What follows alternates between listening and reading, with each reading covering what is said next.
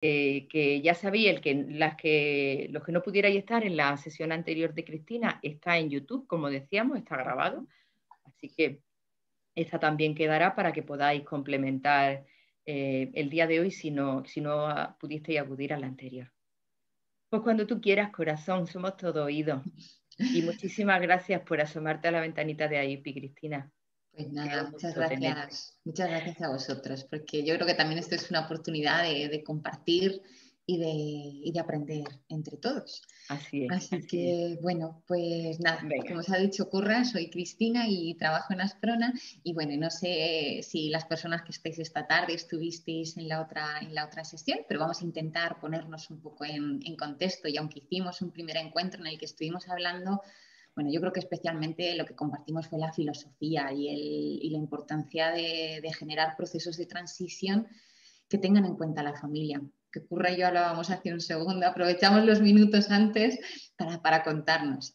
Y hablábamos de que aunque a veces se producen avances y vamos progresando, también queda un espacio en el que, pues en el que tenemos todavía muchas cosas que, que practicar. Y yo creo que al menos lo que es la filosofía y, el por qué, ya no solamente desde la emoción, el por qué tienen que estar las familias o desde la legitimidad, sino que incluso vimos que esa parte está también muy apoyada por la evidencia, que tienen que ser procesos en los que, en los que participen. Entonces, bueno, pues esta tarde lo que os propongo si me deja la pantalla pasar, lo que os propongo es que, recordemos un poco qué, es la transición, porque algunas de las cosas que vamos a ver están como, bueno, pensadas desde, o al menos yo las pensaba desde poder hacer esa transición desde la etapa más infantil a la etapa escolar, pero también después en el fondo digo, bueno, si es que yo creo que la, la definición que utiliza DEC sobre qué es transición, pues como que no lo pone claro y que nos ayuda a entender que no solamente, y algunas de las experiencias que, os traigo y de los comentarios son de familias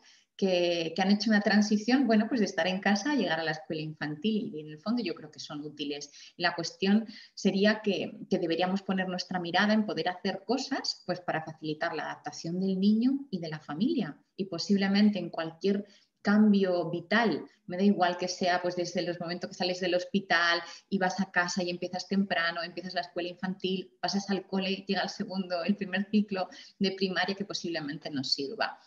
Y bueno, lo que os propongo esta tarde es que intentemos llevar la filosofía a un, terreno de la, de la práctica y bueno, había pensado especialmente que pudiéramos hablar sobre el traspaso de información y os traigo como propuesta revisar el cómo hacemos el perfil en una sola página para que sea, y aunque es un documento que puede ser que muchos lo conozcáis, bueno, para que podamos realmente sacarle ese jugo y extraerle todas esas cosas que lo van a hacer muy útil. Y por otro lado, otro de, de los temas o herramientas que os traigo esta tarde para comentar es una herramienta que se ha pensado mucho para adultos, se llama Paz.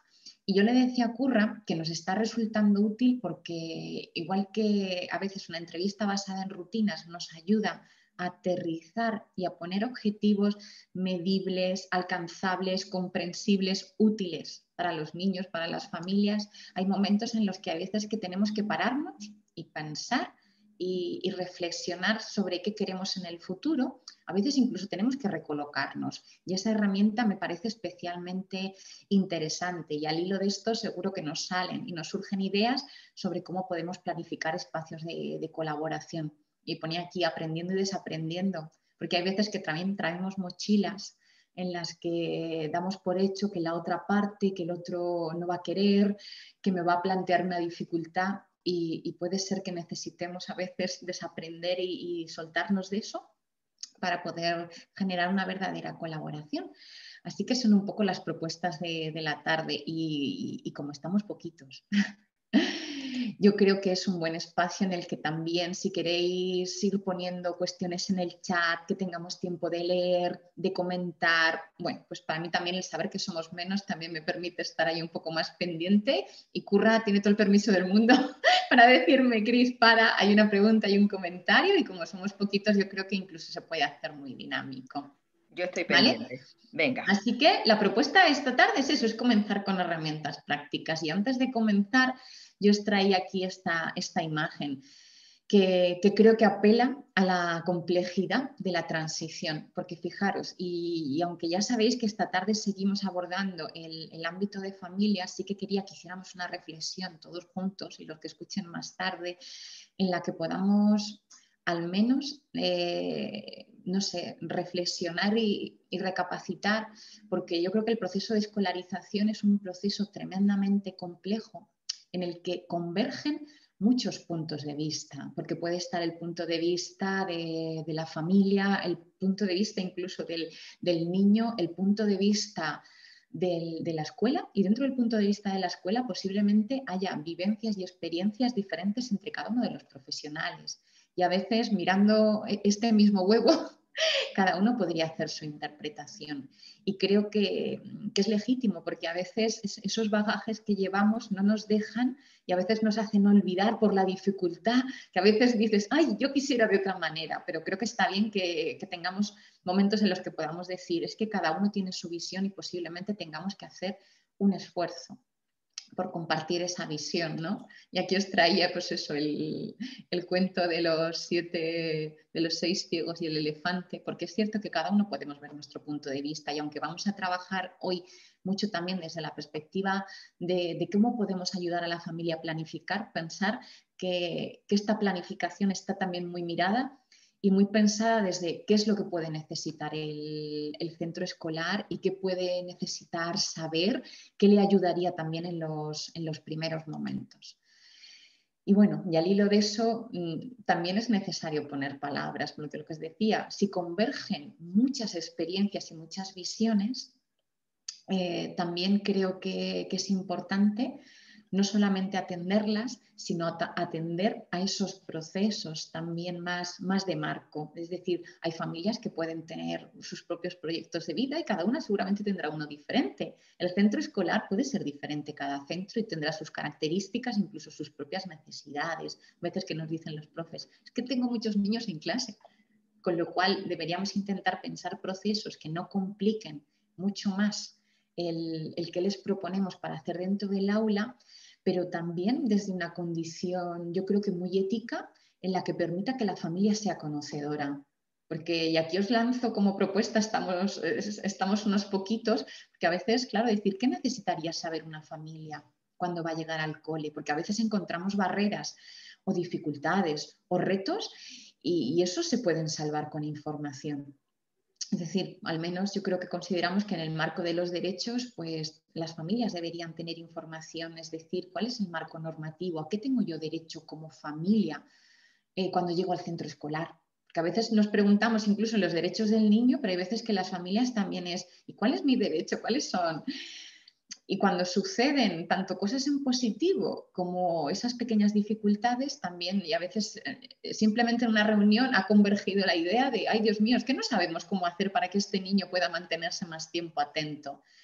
También creo que es importante que, que haya conocimiento y difusión sobre lo que son prácticas basadas en la evidencia en los entornos escolares, lo que sería accesibilidad universal, diseño DUA, porque es cierto que, que hay veces que yo muchas veces lo que he sentido es que si pretendemos tener un enfoque dentro del aula que esté pensado como para un grupo de niños que tienen un funcionamiento muy parecido, y a veces hemos hablado con los profes, eso puede ser difícil, ¿no?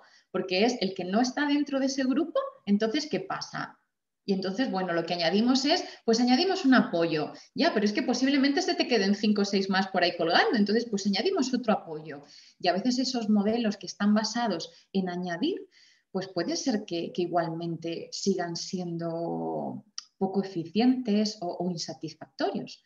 Y también por eso os decía que ¿qué debería conocer la familia? Porque la familia posiblemente no, vaya a decir cómo implementar la, estrategia, pero sí al menos ser conocedor de cuáles son las líneas que, que están demostrando tener más evidencia, que facilitan la inclusión, ya no solamente la presencia de los niños dentro del aula, sino que participe, que aprendan, y que nos haga pensar en un modelo de apoyos diferente. Entonces, bueno, os traigo un poco esta invitación a que lo que vamos a ver tiene que ver con esas cuestiones, pero que antes de iniciar cualquier proceso con cualquier familia, yo creo que, nos tenemos que poner en disposición no, no de cómo hacían esos, esos sabios ciegos de decir veo aquí mi parte y después entiendo que esta es mi realidad, sino de, intentar abrazar y decir, bueno, vamos a intentar al menos inicialmente compartir qué es lo que están viendo, que están mirando otros y que están encontrando. Y bueno, y esto yo creo que ya nos va dando una imagen de, que el proceso de transición es un proceso largo. Y si queremos buscar y queremos acompañar a esas familias en que ellas mismas generen, y no sé si estáis alguna familia por aquí, pero es interesante que uno mismo pueda tener diferentes informaciones que le ayuden a, replantear qué es para mí un buen apoyo, y que esa reflexión vaya acompañada de, información, también que tengamos una idea de, qué es inclusión o porque en muchas ocasiones hay como mucha normativa en muchas comunidades que nos hablan de, apoyos dentro del aula más contextualizados.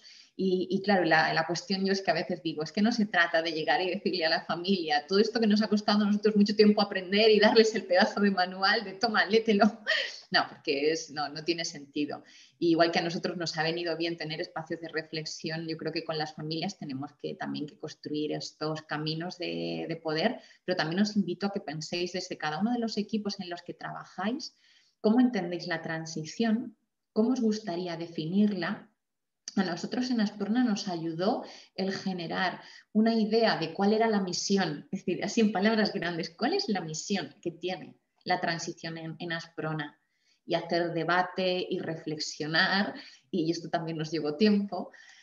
Y mm, voy a pasar esta diapositiva, después vuelvo. Y, y, cuando hablábamos de la misión, también incluso especificar y explicitar como cuáles eran los resultados claves, porque fijaros, eh, a veces decimos que puede ser complejo para, para, la familia porque es una situación, bueno, pues que tiene muchos, muchos factores, pero a veces incluso en nuestras propias conversaciones como profesionales si hablamos de cuáles deberían ser los resultados. Posiblemente en la primera, la primera ronda sean respuestas similares, pero cada una tiene, tiene su matiz y está bien que como servicios vayamos agrupando y contrastando con las familias, con los centros escolares, de qué se trata esto. Porque fijaros, nosotros no os he puesto toda la misión porque, bueno, creo que esto forma parte de mi estilo, que hablo mucho y a veces cuando escribo, escribo mucho.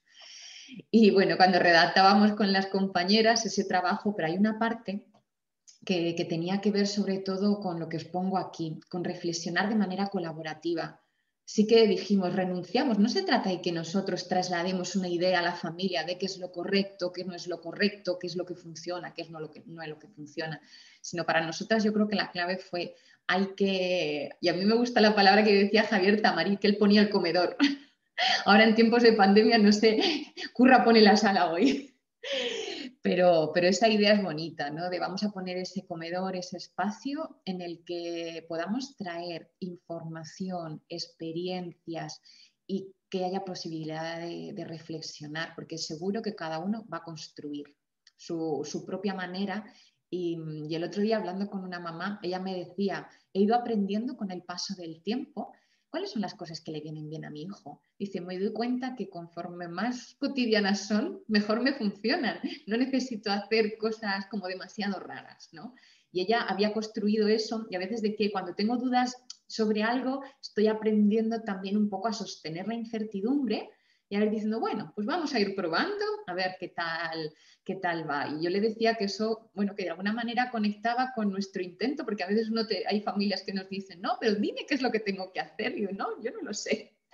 Y, bueno, y la idea es que, que, podamos compartir esos espacios, pero fijaros, para nosotros temas que han sido como muy claves en lo práctico es que las familias tuvieran información sobre el funcionamiento del sistema educativo y sus derechos como familia, es decir, que si tengo eh, derecho a leer el documento del dictamen, si tengo derecho a, presentar un informe externo o no lo tengo, o si tengo derecho, como decía una mamá, cuando descubrí que si tenía que llevar a mi hijo al médico no hacía falta que metiera todo el tiempo el justificante en el papas, y que fui feliz, porque la pobre se veía siempre en la, en la obligación ¿no? de, de tener que estar justificando.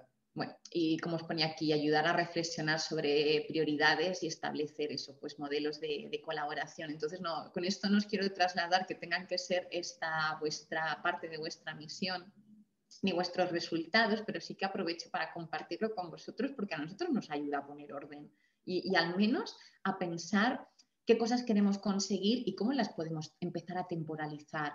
Entonces sí que nos dábamos cuenta, como os ponía en la diapositiva anterior, que tenemos que empezar con tiempo, que una transición no es solamente ese espacio del niño ha llegado en septiembre y entra al colegio y, en tres meses ya o seis meses ya hemos transitado, ya hemos hecho la transición, sino que, posiblemente, sobre todo lo que es la entrada ya al centro escolar, necesite de más tiempo, porque las reflexiones no se construyen de un día para otro.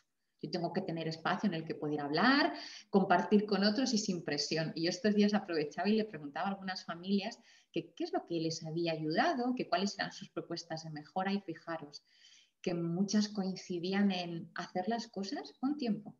Necesitamos poder hablar, poder reflexionar y cuando llega el momento casi de tomar decisión, había una mamá que decía que ella ya tenía, ya decía, creo que tengo algo ganado en haber entendido un poco y, ver que mi hijo tenía necesidad de apoyo y no estar a la espera de, ¿no? Y otra familia decía, pues para mí que, bueno, pues saber que podía planificar con mucho tiempo, que me iba a poder reunir con vosotras, con la orientadora más tarde, hacer reuniones y ver un poco cuál era el contenido de eso, ¿no? Entonces, casi todas convergían en no hacer las cosas deprisa y corriendo, es algo que nos, que nos ha ayudado.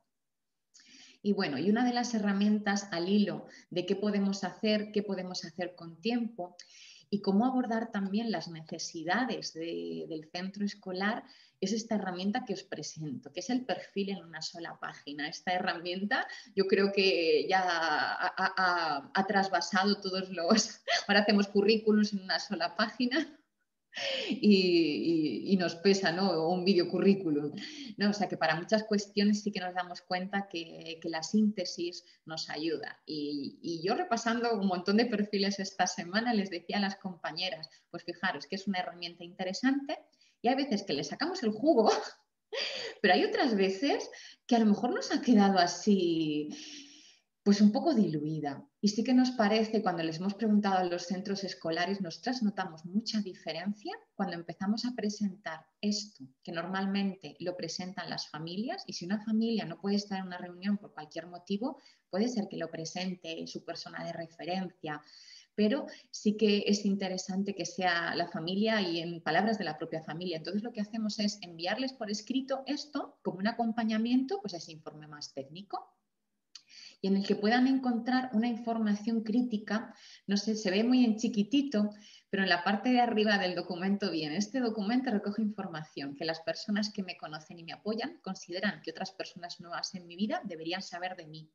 Y fue una frase consensuada también con algunas familias, decíamos, ¿qué sentido tiene esto? Y lo que empezamos a notar es que la manera de empezar a recibir a los niños eh, bueno, pues cambiaba, por ejemplo, el nivel de estrés y de ansiedad, especialmente del tutor, porque a veces cuando han llegado informes en lo que, el, que el primer encabezado es el diagnóstico del niño o el resultado del certificado, el reconocimiento de discapacidad, a veces es como que nos da tal susto que, empezamos a pensar que no vamos a ser capaces.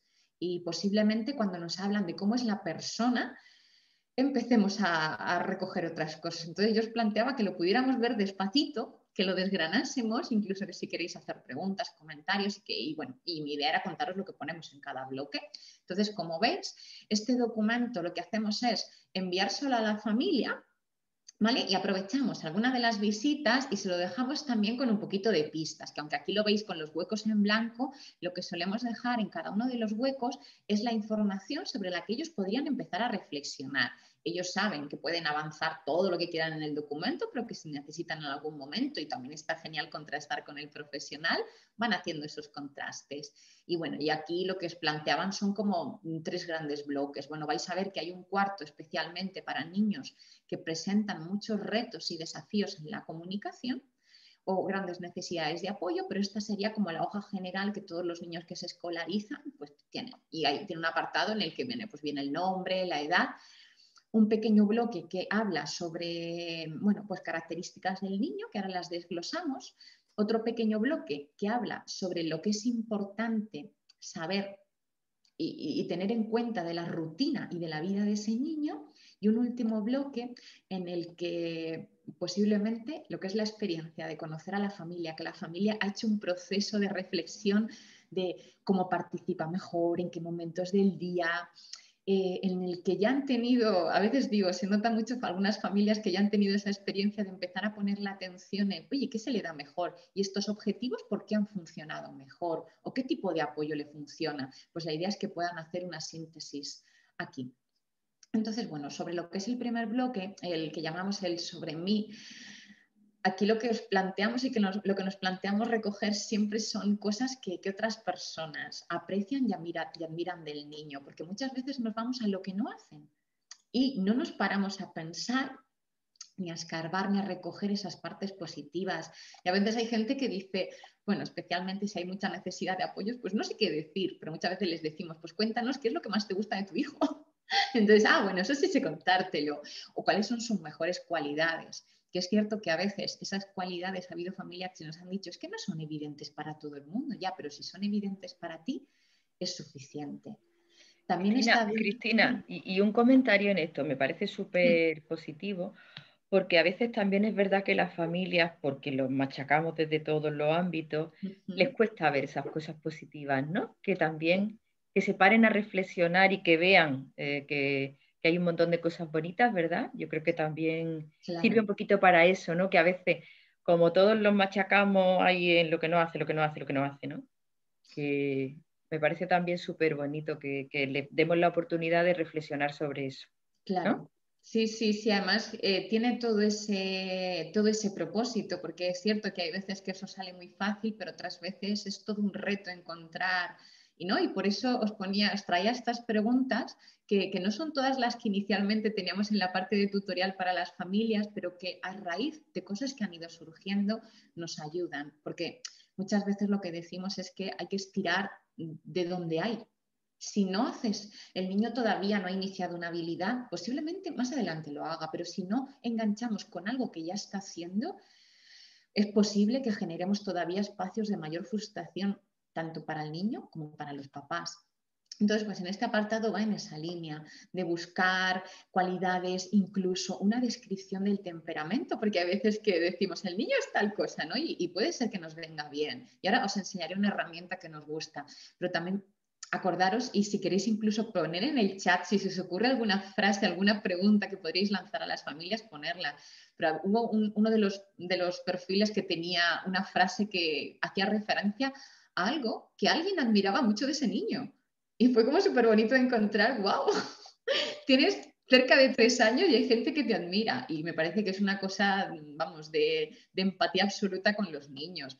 Eh, ¿Cuál es el mejor cumplido que le han hecho a ese niño? Es decir, que, que seamos capaces, tanto nosotros como profesionales, la familia, y no os imagináis cuando empiezan a aparecer comentarios de este tipo, cómo es la lectura del tutor, de esa persona que recibe la hoja porque no es lo mismo contar y hablar y vais a ver ahora algunas cosas del perfil de un niño que le hemos cambiado el nombre y ahora se llama Pedro, ver algunas características de Pedro no, es lo mismo que conocer su diagnóstico, conocer que, tiene, que podría alguien decir es que tiene dificultades en comunicaciones, que tiene problemas motores, que uno dice, madre mía, y es muy diferente. Entonces, pensar que la idea no es que este apartado sea tremendamente extenso, sino que sea esta parte que, que os ponía aquí, qué cosas no se ven a simple vista y que tenemos que ayudar a otros a que vean. Y a veces no se trata de ocultar nada, pero podemos destacar puntos positivos y poder explicar cómo es el temperamento. Y fijaros, y esta herramienta estamos, llevamos un poquito de tiempo utilizándola y os la voy a mostrar aunque tenga que ahora dejar de compartir pantalla un segundito y volver otra vez a compartir. Y fijaros, para algunas familias a veces, porque a veces no, somos todos polares, nos vamos una parte u otra, y, nos cuesta, nos cuesta, nos cuesta ver, ay, perdonar, he puesto la versión en inglés, pero tiene una versión que está en, que está en castellano. Pues fijaros, este es un enlace que, que las familias pueden utilizar, los profesionales también, y en el que podemos hablar de cómo es el nivel de actividad incluso cómo es el de el familiar, porque muchas veces yo creo que es una buena herramienta en la que podemos entender que el temperamento y el modo en que reacciona un niño no es una cosa aislada del niño, sino que es un contexto de, interacción. Y bueno, y algunas familias dicen, bueno, pues el niño es así y yo también soy así. O los dos somos de mucha actividad y nos llevamos genial. Así que el tutor también puede reflexionar de cuál es su temperamento, su manera de hacer, porque lo, bonito de la herramienta es que cuando vas clicando y describes el perfil del cuidador principal, que podría ser incluso el tutor, y el niño nos da como, bueno, una información en qué puntos posiblemente estemos más ajustados y en qué espacios podríamos encontrar en la interacción posibles desafíos. Y lo que os digo, que algunas familias cuando lo han leído han pensado, ojo, pues qué chulo es, ¿no? Porque a lo mejor yo no era consciente o yo estoy pensando, por ejemplo, niños que se distraen mucho, ¿no? Y a veces los papás dices, válgame, sí creo que soy igual, ¿no? Y entonces olvido utilizar los elementos de anticipación y bueno, yo creo que es interesante ver este tipo de, de pistas porque yo creo que nos ayudan a tocar que somos todos humanos y que las respuestas de, que tenemos como personas que son contextuales, que yo creo que cuando hemos aprendido de las oportunidades de aprendizaje, de, lo que son las rutinas diarias, nos damos cuenta que somos variables, que no funcionamos exactamente igual. Y el perfil es una oportunidad para que, para que nos vayamos adentrando, nos vayamos adentrando ahí. Vuelvo a la presentación. Entonces, bueno, pues en esta parte lo que os lanzo no tiene por qué ser muy extenso porque el reto es hacerlo en una hoja. A veces decimos, bueno, venga, vale, dos, la doble, doble cara, pero sí que vayamos a cosas realmente, realmente críticas. Y voy a ver si me deja esto pasar. Mirad, aquí os traía algunos de los comentarios de las familias, ¿no? Eh, eh, bueno, pues esta mamá nos decía, bueno, el niño nos dice que es, poco hablador, aunque hay días que no calla ni debajo del agua, ¿no? Y esos días especialmente está, está contento. Vaya, en otros casos nos dicen, bueno, pues tengo cambios de humor frecuente y a veces estoy muy contento y emocionado y otras soy muy apático y disperso. Pero fíjate, muy pocas veces se enfada.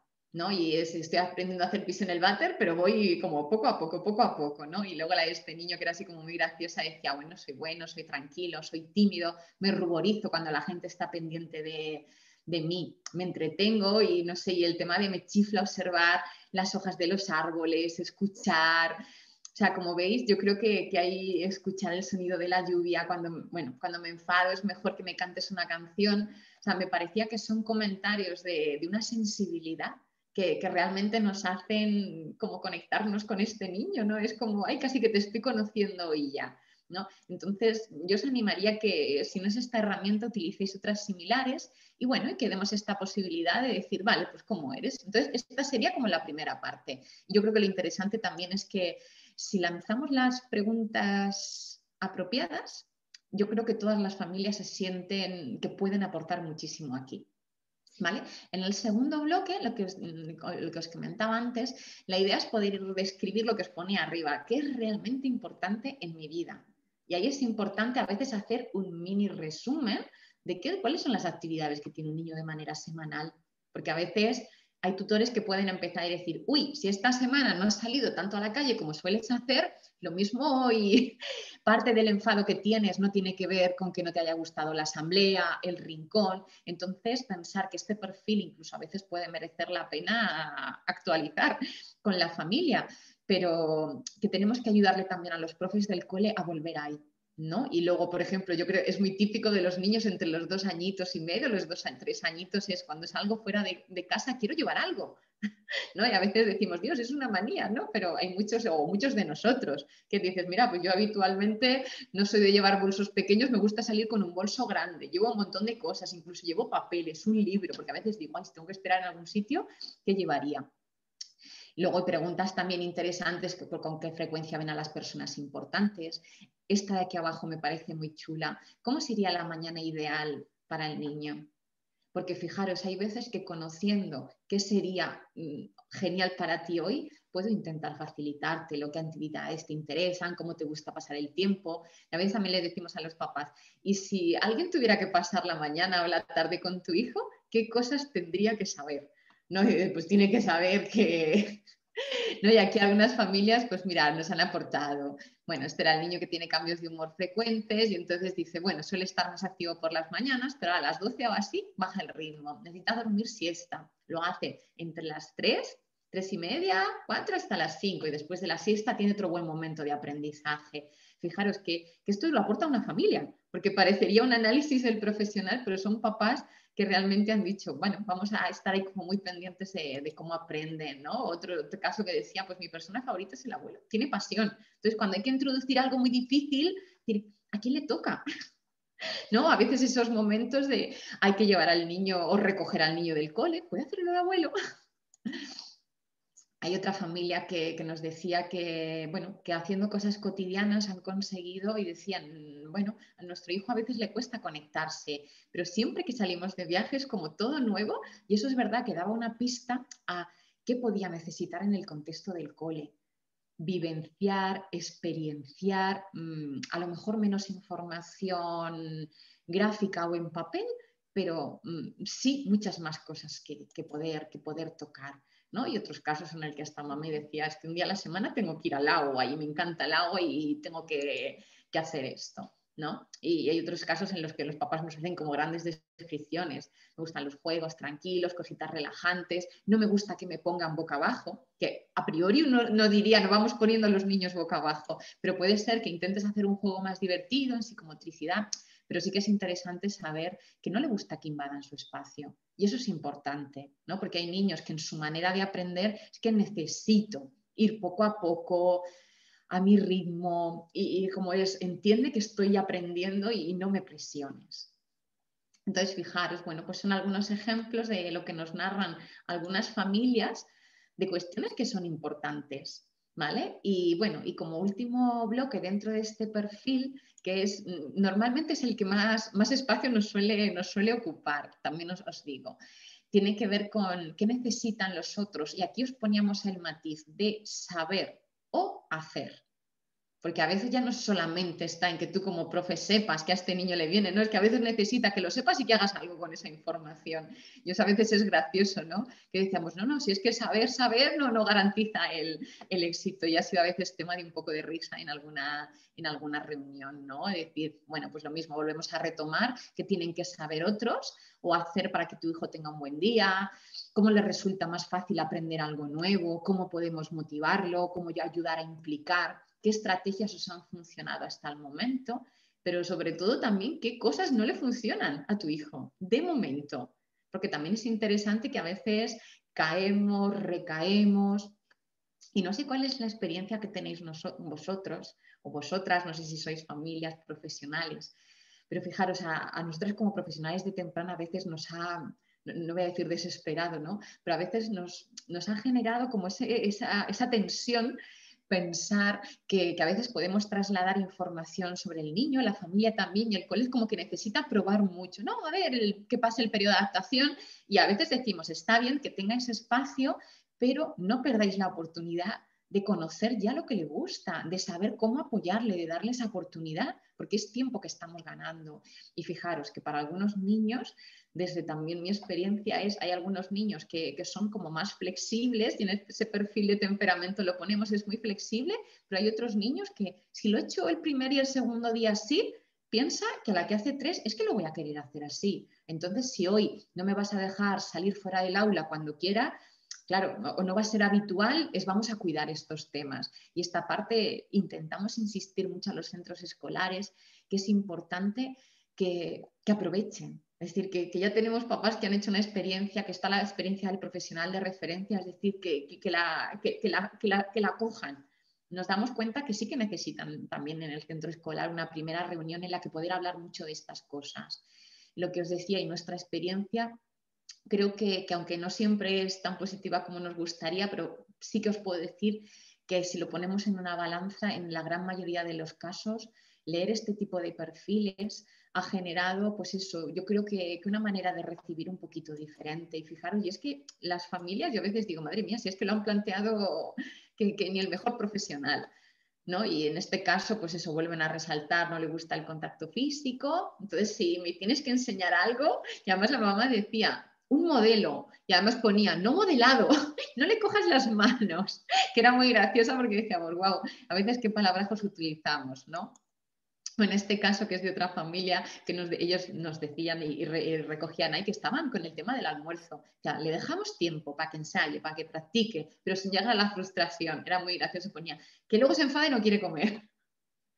Claro, pero este tipo de cosas da igual el perfil profesional, porque a veces en el cole el tutor dice, ay, es que yo no, no, sé de problemas del desarrollo, no, no sé, ¿no? Y este tipo de información nos damos cuenta que, llega a todo el mundo, ¿no? Y esta familia también nos decía que a su hijo, hay, hay familias que a veces prefieren hacerlo eh, como si fuera esa parte de que te lo cuenta el niño y otros en esta parte a veces la narran desde su propia experiencia, ¿no? Es que cómo apoyarme o cómo apoyarle, ¿no? Entonces dicen, no, sin importarle no le importa probar cosas nuevas, ¿no? Lo, cosas que le motivan, pues lo mismo es, pero necesita tomar en la iniciativa. No, no, le obligues, no le presiones, ¿no? Y estas cosas a veces tanto queremos ayudar que, está bien que estén por escrito porque no son complejas y nos ayudan a entender mucho mejor a, a los niños.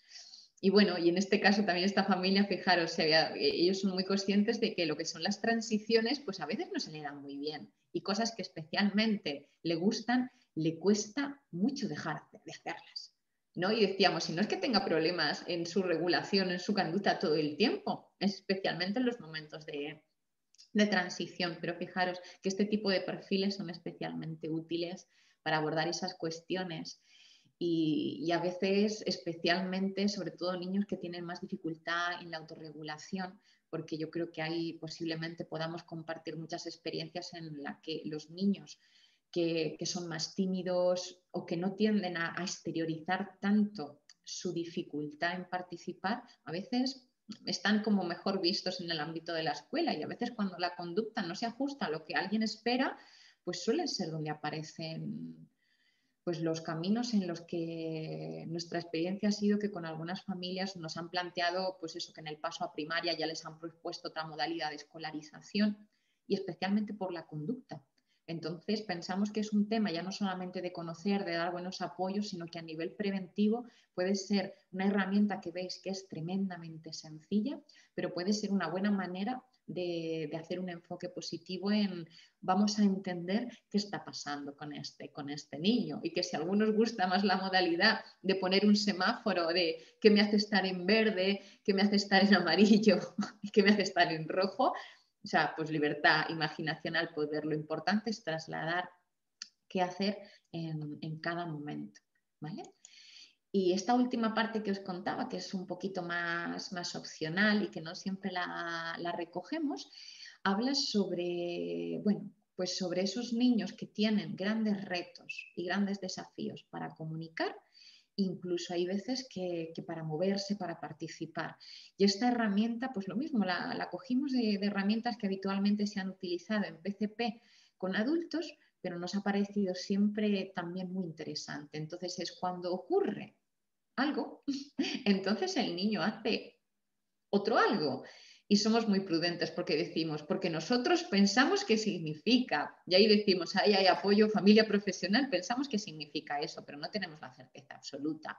Pero sí que tenemos claro que entonces hay que hacer tal cosa. Aquí os ponía este ejemplo, además que fue muy gracioso, de, y era el papá el que nos decía, sí, sí, cuando entra al aula, sonríe, se mueve y, era, y la, primera hipótesis fue, está muy contenta de ir al aula y después, pues no, me he dado cuenta que es el hecho de que haya muchos niños jugando.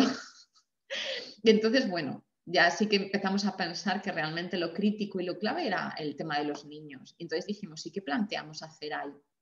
Nos dimos cuenta que la conducta se organizaba mejor cuando se le empezó a facilitar, bueno, concretamente era una niña, se le empezó a facilitar que saludase y dar pistas a los otros niños sobre cómo la podían saludar para que ella entendiese. Entonces era como una llegada mucho más tranquila, la, sonrisa estaba ahí, pero eh, yo creo que, ahí más o menos se, se, pudo cubrir su necesidad de participación. Entonces este tipo de cuadrito en lo que intentamos despejar a estos niños que tienen muy poquitas posibilidades motoras, estaba también pensando poneros algún otro perfil, pues concretamente de una familia que tiene un niño pues, que, tiene muchas dificultades para moverse y utiliza muchas veces pues, juguetes adaptados con pulsadores, pero sí que es evidente que cuando él ve algo que le gusta, hay veces que hay un movimiento tremendamente sutil de uno de sus brazos y concretamente de una de sus manos. Entonces es cuando ve, entra a un lugar, ve algo que quiere coger, realmente va a mover un poquísimo, poquísimo una mano lo que va a hacer es algo muy sutil que deberían saber en el centro escolar, por supuesto. Nosotros pensamos que quiere cogerlo ¿Y qué hacemos? Se lo facilitamos, pero si el niño no hace ademán una vez que lo tiene cerquita, pues respetaríamos y diríamos, bueno, pues a lo mejor era otra cosa. Pero fijaros, el conocimiento de los padres a esos niveles muchas veces nos dice que cuando ellos hacen una interpretación de lo que significa, es casi siempre muy certera. Entonces, bueno, pues esta es una herramienta, como veis, muy sencilla, pero que al mismo tiempo que tiene sencillez, bueno, pues os ponía aquí como resumen, ¿no? Es detallado, es específico y debería ser muy útil, ¿no? Y aquí os ponía esta frase, si hemos hecho y hemos conseguido familia y profesionales hacer un buen perfil, pues el que lo lea debería sentir que conoce al niño. Y como decía Currantes, esto conecta mucho con enfoques basados en fortalezas, en las características personales, que tiene en cuenta el contexto y que fomenta la participación. Y dices, y no tiene el código de la CIF, pero, pero fijaros que, hay veces que, decimos, ¡ay, la CIF! Madre mía, y uno dice que Manuel nos perdone. Pero, pero, fijaros que es, que es un enfoque realmente que puede atender a la persona y si uno intenta coger la esencia, vamos a ver que, después puede haber un informe más detallado, más explícito, pero que, posiblemente en lo, emocional consigamos que toque mucho más a la persona, que llegue más de cerca y que uno al leer sienta que puede entender eh, cómo es ese niño, las cosas que le gustan. Porque yo a veces también pienso, y se lo decía antes a Curra, que parte de a veces de las barreras que encontramos con otros o las resistencias, pues mm, pueden tener mucho que ver con nuestros miedos. ¿no? Cada uno tenemos los nuestros, pero posiblemente si hacemos que la información sea más accesible, al menos podremos podremos superar esa pequeña barrera. Entonces, bueno, pues esta es la primera herramienta que, bueno, si luego queréis que comentemos algo, podemos hacerlo. Y bueno, y como segunda herramienta que os quería presentar y habla de la planificación, es como que vamos más rápido porque ya hemos visto muchos de, los temas. La idea es, eh, bueno, conectar con lo que os decía antes, que para nosotras y compartido con muchas familias, entendemos que el paso al cole es un momento en el que hay muchas cosas en juego, es un cambio de etapa importante. Yo le decía a Curra que, llevamos tiempo usándola, aunque no, con el mismo nivel de implementación en, todos los centros ni de todas las maneras, pero sí que nos ha resultado, y, si queréis coger nota de esto, nos ha resultado especialmente útil cuando, yo os ponía aquí, cuando la situación de la escolarización bueno, no, lo llegué a poner, realmente es compleja, compleja y requiere que haya mucha coordinación, que se involucren otras personas, otros recursos y durante un periodo prolongado de tiempo, ¿vale? Entonces, pensado especialmente pues, para familias que tienen hijos que tienen necesidades de apoyo que posiblemente no sean tan transitorias o que tienen situaciones del propio sistema familiar que es complejo, que a veces si pienso en complejidad con los cambios de domicilio, trabajos complejos, ¿vale? Para que os pongáis ahí, porque es verdad que es una herramienta también de, bastante detalle. Yo, bueno, yo os ponía aquí lo que significaban las siglas y las palabras que vienen del inglés y en el fondo es también bonito, es construir mañanas, bueno, alternativos, ¿no? Porque si dejamos que las cosas y no, a veces no hacemos nada, puede ser que ese mañana a lo mejor no sea tan positivo. Entonces, por eso esa idea de hacer planes para un mañana alternativo, porque lo estamos pensando y le queremos poner mucha conciencia y bueno, y lleno de, de esperanza. Y la propuesta de esta herramienta es que haya un espacio de reflexión con la familia que va a involucrar cada uno de estos cuadritos que, que veis aquí. Entonces, en primer lugar, esta herramienta, pues, ¿qué, os puedo contar de ella? Es una herramienta que solemos utilizar en soporte de papel y se puede ser en un papel grande en el que podamos pintar, dibujar, pegar POSIT, mucho mejor. Si es en formato, lo vamos a hacer en casa, pues una 3 y algunos POSIT y algún papel extra también nos, nos sirve. La idea mm, siempre es lo que le decimos a la familia, esto, esto no, es obligatorio, ¿no? pero la, siempre la propuesta es plantear a la familia que mm, antes de entrar al cole, pues hagamos una revisión del plan de apoyos. Decimos, ¿y por qué?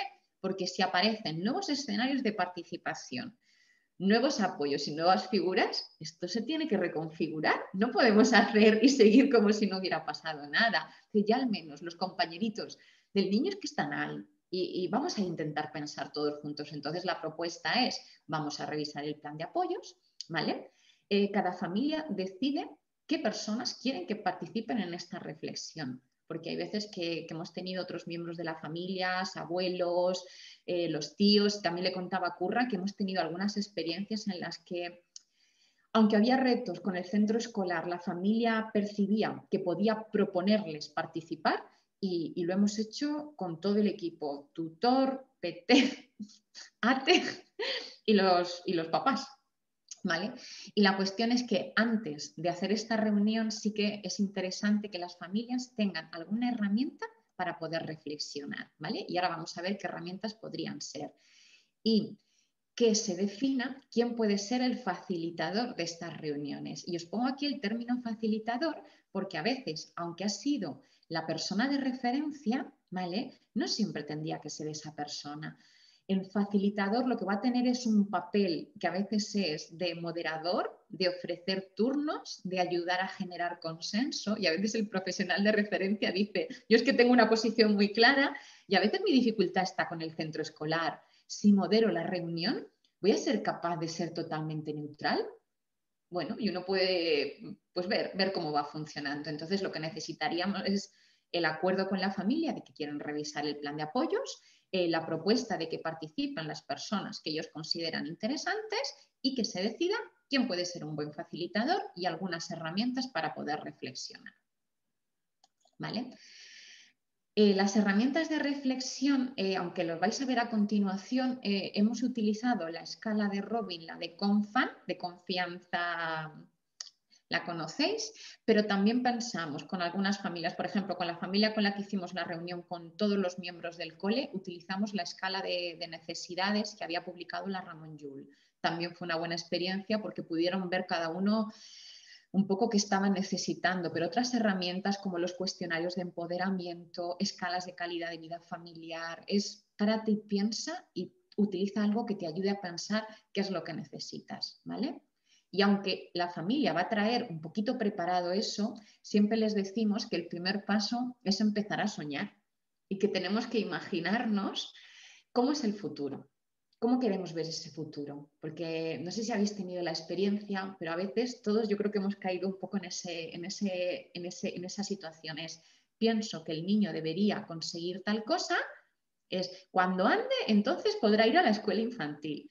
Cuando hable, entonces podrá. Cuando controle interés y a veces decimos, esos procesos de pensamiento que se basan en conseguir cosas, a veces dices, uy, son tremendamente injustos para el niño, le colocan en una posición en la que no, tenemos que entender que tiene derecho a estar y a participar y que posiblemente sea más fácil pensar en cómo quiero que sea el futuro a nivel de proyecto familiar y el futuro de mi hijo y que vaya construyendo ese camino, porque a veces si lo hacemos de la otra manera corremos el riesgo de desviarnos de empezar a desviarnos, porque quiero conseguir tal cosa y no lo consigo, y entonces decido hacer no sé qué, pero si tengo un sueño claro, entonces les decimos que se planteen cómo les gustaría que fuera ese futuro. Y a veces dices, bueno, aunque sea en la etapa escolar, no hace falta que te vayas más allá. Ese es el primer paso y lo solemos poner aquí, con dibujitos. Si hay alguien de tu equipo que pinte bien, puedes tener un facilitador gráfico, que eso ya es la pera.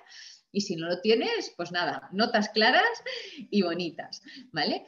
Como segundo punto, lo que solemos hacer con la familia es la reflexión de, imagina que ha pasado un año y que estamos de regreso, pues aquí en esta misma sala, en esta habitación, recordando qué es lo que sucedió, ¿no?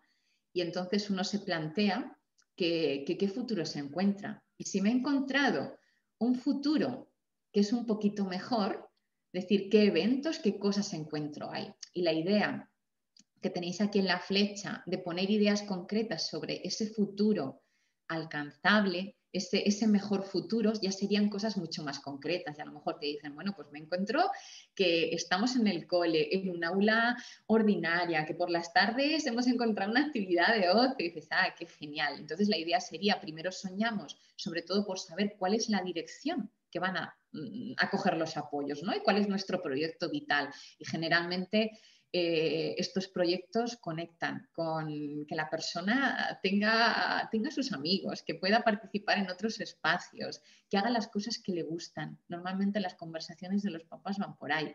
a veces dices que tenga sus amiguitos, ¿no? Y a veces reflexionamos, y si queremos relaciones sociales, ¿qué es lo que tendríamos que hacer? Por eso os digo, esto evita que nos perdamos en el camino. Y luego pues esta segunda parte de ese futuro, ese futuro más próximo. El único matiz que ponemos en, en ese futuro alcanzable, de cómo lo percibimos, es que sean cosas que sean positivas y posibles. Es decir, y ahí si quieres, ponte en un año o dos vista, pero piensa en cosas que son positivas y posibles. ¿Vale? Sería el segundo punto. El tercer punto, eh, posiblemente para algunas familias sea el que más profundidad les requiere. Y hay veces que aquí analizamos hasta aquí en la primera reunión y después hacemos un segundo bloque. Y aquí os traía eso, pues la escala de confianza familiar y otras propuestas como son elaborar mapas visuales que permitan analizar a los papás situaciones concretas mirar, con un poco la, cuestión de, este paso es que se ha generado, yo os ponía aquí una tensión, o sea, no tensión como algo malo, sino que hemos visto cuál es nuestro sueño, cuál es esa visión a un año vista de, ese futuro mejor. Es decir, que me encuentro dentro de un año y cuando veo la situación que tengo ahora, pues se genera... ¿Y cómo, cómo, nos movemos? ¿Cómo nos movemos desde ahí? Entonces esa tensión no tiene que ser desde la frustración, sino por eso, posible y positivo. Entonces, desde ahí es cierto que a la hora de analizar para muchas familias implica una reflexión sobre cómo me siento yo de competente para ayudar a que mi hijo participe, para ayudar a mi hijo en el funcionamiento diario, incluso cómo me siento de competente para obtener información. Y aquí sí que vemos que si no sale, decimos, ¿y cómo te sientes con la información que tienes sobre el sistema escolar, derechos? Y hay veces, por eso os decía, que esta parte eh, se alarga, se alarga, pero incluso hay veces que si hablamos de como nos pone la escala, nos muestra la escala con FAM, si necesito apoyo emocional o conseguir otros apoyos, las familias pueden hacer una reflexión y todo esto priorizar pero yo os diría, no es lo único, porque hay algunas familias que lo que nos cuentan es que el paso al cole, y aquí tenéis algunos mapas, y, paso hacia adelante. Y el paso al cole eh, hace que, que, yo tenga que analizar cuáles son mis sueños, pero también mis miedos. Y mirar, estos días hablando con una familia me parecía también como, bueno, pues interesante compartirlo con vosotras. Me decía, he pensado muchas veces que me da miedo que mi hijo dificulte el ritmo del aula por el resto. Y luego decía, jo, ¿cómo he sido así, no? O, me da miedo otra familia que, que lo dejen apartado. Me da miedo que mi hijo pase desapercibido y ese tipo de cosas. Y vais a ver ahora cómo conforme va avanzando el paz, este tipo de cosas tienen que salir. Tienen que salir, las tenemos que verbalizar, porque concretamente en algunas experiencias han tenido maneras de resolverse no sé, yo creo que las definiría como bonitas y muy positivas. Entonces puede ser que necesitemos hacer un mapa de sueños, puede ser, en algún caso también os voy a contar que hemos tenido familias que al final, aunque están utilizando el apoyo de atención temprana, han decidido acompañar con otros servicios específicos y a veces les decimos, si tú consideras que tienes que hacerlo, adelante, no dejes lo otro. Pero también es cierto que en algunos momentos nos puede venir bien como familias, que hagamos una reflexión de en qué espacios de la comunidad participamos y en qué cuestiones específicas, porque para algunas familias ellos mismos nos han dicho, pues no estaba siendo consciente que fíjate que si mi sueño es que tenga amigos, ese sueño de inclusión y lo que estamos haciendo en el día a día nos hace invertir mucho tiempo en el desplazamiento, en determinadas actividades y no hay tiempo para lo otro y a veces es preferible que cada uno haga su nivel de análisis y a veces incluso volver a analizar, y estaba pensando sobre todo si lo hacéis con el centro escolar, la herramienta del perfil y sobre todo hablar de cómo necesita un niño ser apoyado y construir una visión compartida del funcionamiento y el desempeño del niño, hay cosas que en el ahora son necesarios, importantes, importantes abordar. Entonces, fijaros, vamos construyendo el, la nube del futuro, si nos volvemos a ver en un año, cómo estamos, cómo estamos ahora, muchas veces, cómo estamos de miedos. Yo no puedo soñar hasta que no te diga mis miedos, ¿no? Y, luego, muchas veces la siguiente parte es, ¿y quién está a bordo? ¿Quién estamos? ¿no? Cuando hablamos de los recursos y los apoyos, a veces lo entendemos como algo más frío, pero a veces plantearlos como, ¿quién está en este barco? Es interesante. Entonces, aquí lo que solemos hacer con la familia es que puedan revisar su ecomapa, ¿vale? y, compartir un poco a nivel de enfoque lo que os pone aquí. Bueno, pues que posiblemente de los objetivos que se estén planteando, si habéis elegido un caso complejo, creo que es justo que hablemos mm, sobre que, que, ningún objetivo va a ser alcanzable si no es en colaboración con otros. En los casos sencillos en los que los niños funcionan, dices, ellos funcionan, pero a veces cuando tenemos situaciones complejas, con grandes necesidades de apoyo, situaciones familiares complejas, este es un reto y, no siempre nos permitimos decir, es que el otro no, es que hay que entender que tenemos que hacerlo, tenemos que hacerlo juntos. Y fijaros, y esto nos va a dar pie, que una mami me lo decía, me encantó, nos va a dar pie a que la familia identifique quiénes pueden ser sus cómplices en todo este proceso, es decir, alguien a quien, quien sé que me va a escuchar, que me va a ayudar y que posiblemente pueda llegar a otros. ¿no? Y también importante que identificamos si necesitamos ganarnos a alguien, decir, ¿quién podría ser una barrera, un pequeño obstáculo para que se cumpla ese sueño o ese reto? Y no lo vamos a enfocar de manera negativa, sino a quién nos tenemos que ganar. Y luego también es interesante en esta fase, porque es cierto que hemos tenido reuniones de este tipo en la que nos venimos arriba, sobre todo si participa mucha gente, y luego pues no paramos, no nos hemos parado a pensar cómo mantener esto y pararnos y pensar en grupo eh, qué necesitamos para mantener estas metas y la fuerza que tenemos ese día, también es un tema clave, que lo vamos a escribir en nuestra parte de recursos y apoyo. Estos son la gente que estamos, los que necesitamos, los posibles cómplices, los que tenemos que conquistar y también es un recurso y apoyo saber qué me da fuerza, que tengo que, y hay familias que dicen, Dios, hacer una reunión de vez en cuando, una vez cada dos meses, no puedo esperar tanto que si no me desinflo, ¿no? Y esta es una parte bonita y aquí os ponía, os traía esto, por ejemplo, de, esta familia concretamente, que sobre sus metas y su red de apoyos eh, identificaron como claves al abuelo, a la persona de, atención temprana, a, el trabajo, porque la mamá nos decía, mi trabajo me permite viajar y eso, lejos de ser un inconveniente, para mi hijo es una súper oportunidad cada uno, la tutora de la escuela infantil, la tutora del cole. Fijaros, en el proceso de transición, el profesional de referencia se encargó de, bueno, de contrastar con las familias si querían conocer también a otra familia de otro niño con necesidades de apoyo que entraba al mismo cole y no a la misma aula y les planteó que si querían conocerse. Ella se enteró y dijo, bueno, si os queréis conocer, y han hecho, han hecho ahí piña. Y luego estaba, bueno, pues la orientadora del cole, la profe de audición y lenguaje, y la mamá, bueno, pues esta parte también la reconocía. Entonces ella nos planteaba que su principal cómplice fue la tutora y fue la que le contó el miedo que tenía a que su hijo no fuera, fuera es decir, que, que mi hijo no participe, que no sea visto dentro del aula ya me decía, y fíjate, hice muy bien en contárselo, porque ella después cuando vino la orientadora a ver al niño al cole, le estuvo hablando de que era muy importante hacer que ese niño participase, porque si no se quedaba. Y cuando ya llegaron a la reunión con todos juntos, bueno, pues la mamá ella sentía como que había tenido una persona y al principio pensó que, necesitaría conquistar a la tutora. Pero fíjate, enseguida, y ayer me decía, ¿sabes que he cambiado de cómplice? Dice, que no sabes quién es ahora? Yo quién. Entonces me dijo, fíjate, es la tutora la tutora había tenido una experiencia familiar con una persona también con necesidades de apoyo y bueno, y han conectado y es ahora mismo su cómplice dentro del cole.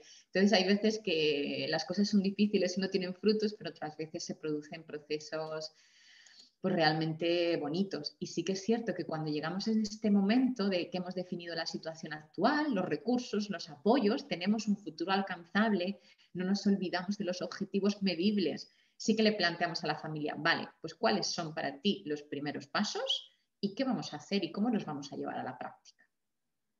Porque aunque estemos hablando de una herramienta que nos ayuda a conectar con el sentido vital, con un proyecto de vida familiar, un proyecto de vida del propio niño y pensamos en cosas concretas a medio plazo y analizamos, claro, tenemos que ayudar a concretar qué es lo que vamos a empezar a hacer y a veces podemos empezar compartiendo información con el cole, planificando nuevas reuniones, mm, promoviendo más apoyos. Hemos tenido algunos casos que después de usar la herramienta y familias que a veces han sentido más vértigo con un sistema de comunicación aumentativo, han decidido que su primer paso era iniciar comunicación, mm, pues eso, con otras herramientas.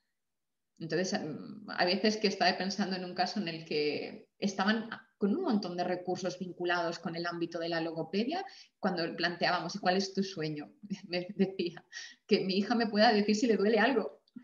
Dice, es un sueño así, pero necesito. Entonces, ¿y qué estamos haciendo en el camino, en ese camino de la comunicación? ya dijo, bueno, pues realmente, realmente y directamente. Entonces, cuando le preguntamos tus primeros pasos, dijo, pues mira, empezar con el sistema de comunicación. Dijimos, pues nada, genial, pues empezamos. Entonces, bueno, pues aquí tenéis otra, otra herramienta que, como veis, nos pone mucho en la tesitura de, empezar a compartir con, los centros escolares y poder planificar ya reuniones con un trabajo hecho. Y aquí os ponía como ideas, con una agenda compartida, siempre siendo muy explícitos de, de qué queremos hablar en la reunión, quiénes vamos a estar, con un orden del día y sin olvidarnos de que cada uno de nosotros podemos ofrecer, podemos ofrecer algo.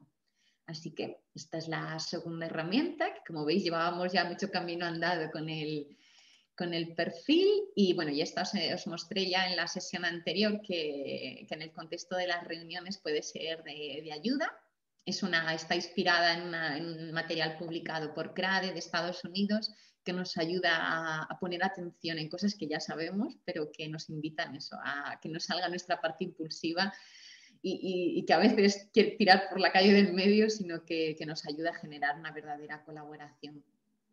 Y bueno, pues nada, con este colibrí que, considera que tiene que, aportar su parte y que las cosas se construyen entre todos, pues nada, más o menos doy, doy por cerrada y bueno, espero que, no sé, que os haya parecido útil, interesante y si queréis pues, que comentamos alguna cosita, pues quito la pantalla y nos bueno, Cristina, qué, qué, eficacia la tuya. Vamos, una hora, bueno, bueno, justita. bueno, corazón, me encanta el colibrí. Qué bonito, qué bonito. Eh, pues yo creo que la verdad que estamos nosotros también intentando hacer, no, ni mucho menos con la profundidad ni el recorrido que vosotras lleváis, pero sí haciendo ese trabajo de presentación al cole, a la escuela infantil.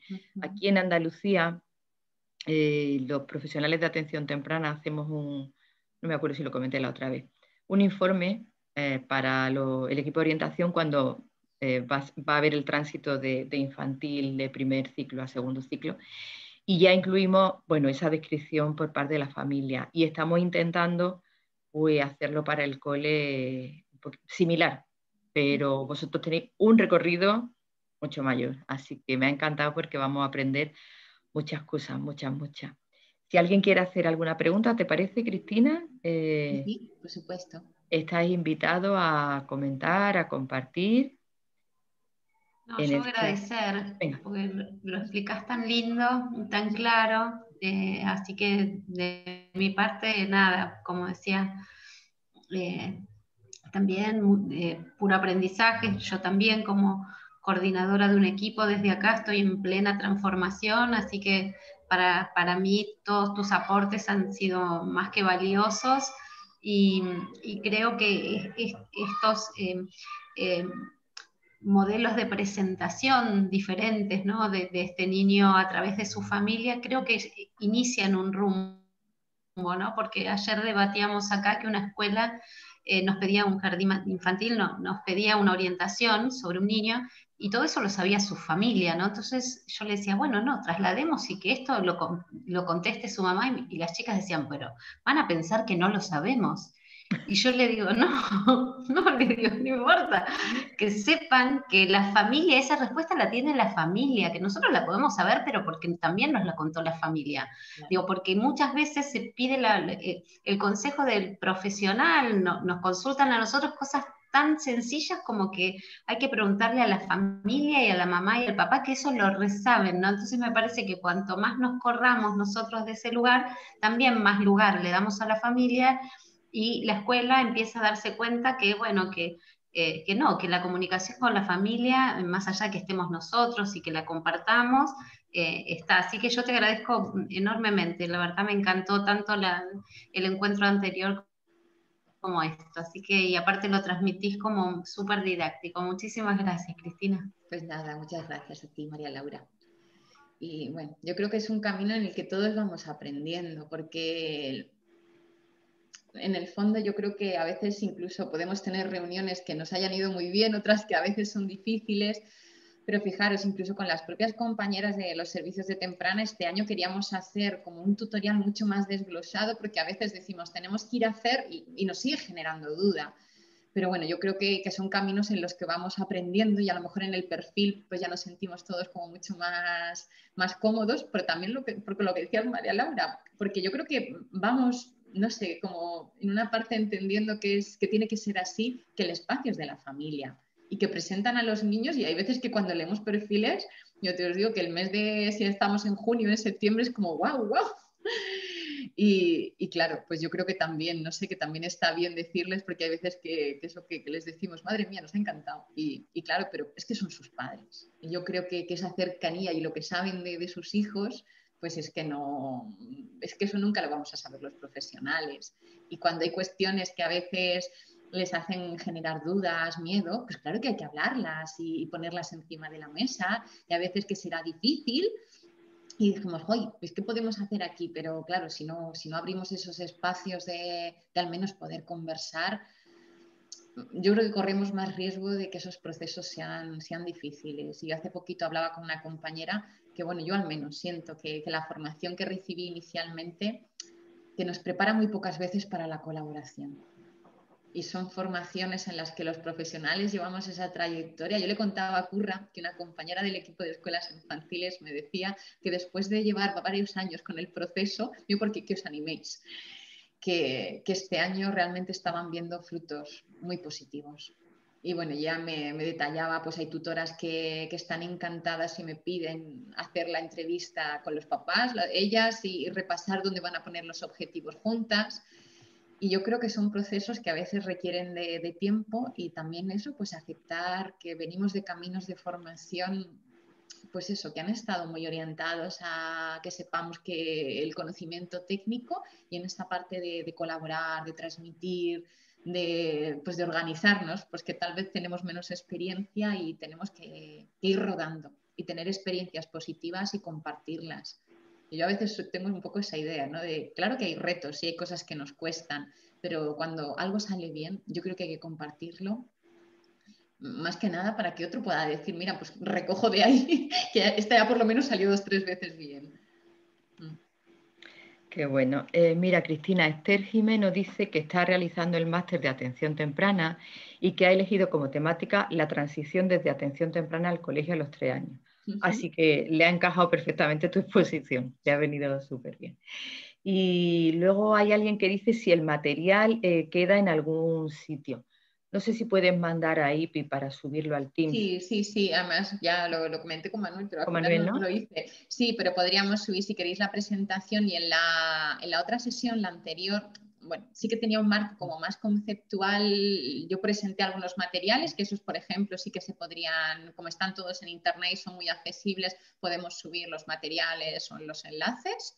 Y, claro, pues si sirven para alguien más. Yo creo que sí, que en la pestaña del Teams que, aparece el tema del juego, eh, Lo, podemos, lo podemos subir.